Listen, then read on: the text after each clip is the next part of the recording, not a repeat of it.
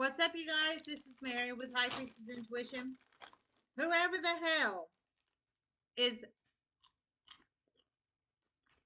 texting people, aka Brian Tanner, which that's not your fucking real name. I'm sure it's not. From a 302 area code, claiming you're with Regions, and doing a PayPal scam.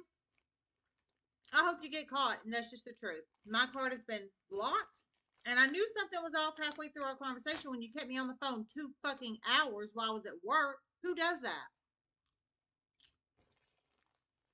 Just saying. Eight transactions today, almost five thousand dollars you stole from me. What? Almost five thousand damn dollars you stole from me. Eight transactions um through YouTube. The real fraud investigative team called me after we get off the phone. You crazy ass. Just let you know, Brian Tanner.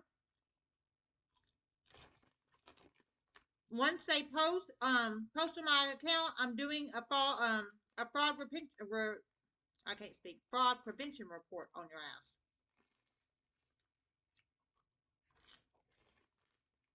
I hope your ass gets caught and jailed and go to prison. All right. Love you guys. Going to say.